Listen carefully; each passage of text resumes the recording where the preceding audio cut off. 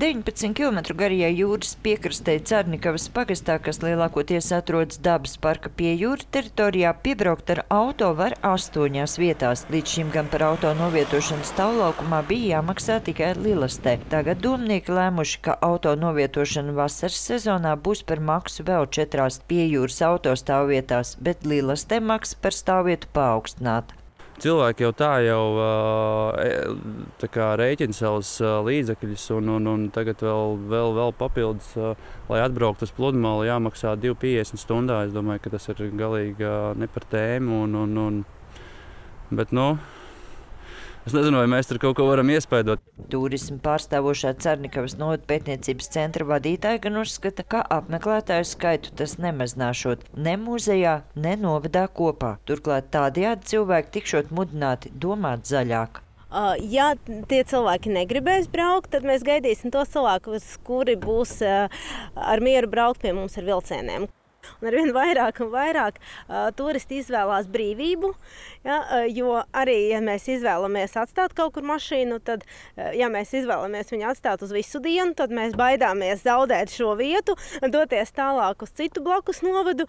Kā RTV skaidro domas priekšsētāja vietniece, maksa par stāvvietām ļaušot vismaz daļēji samazināt turistiem nepieciešamās infrastruktūras uzturēšanas izmaksas, kas gadā sasniedzot 100 tūkstošus eiro.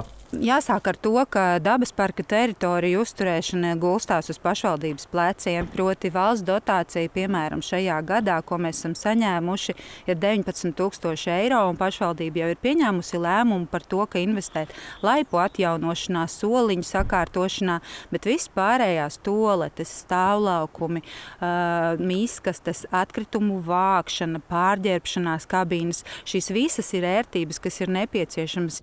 Kaimiņu pašvaldībās šovasar auto novietot stāvlaukumā varēšot bez maksas. Tomēr Saukrastos doma par maksas stāvvietām nākotnē tiekot apsvērta. Kā šo infrastruktūru izveidot, kā uzturēt, lai atpūtnieki, mūsu valsts iedzīvotāji saņemtu uh, kvalitīvu pakalpojumu.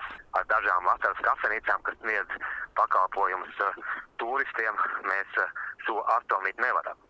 Ādažu novadā par autostāvlaukumu izmantošanu jāmaksā vasaras periodā no 1. māja līdz 1. oktobrim. Šomēnes tas gan vēl attiekšoties tikai uz stāvlaukumu Lilastē, bet vēl četri stāvlaukumi par maksas auto novietnēm kļūšot no 1. jūnija.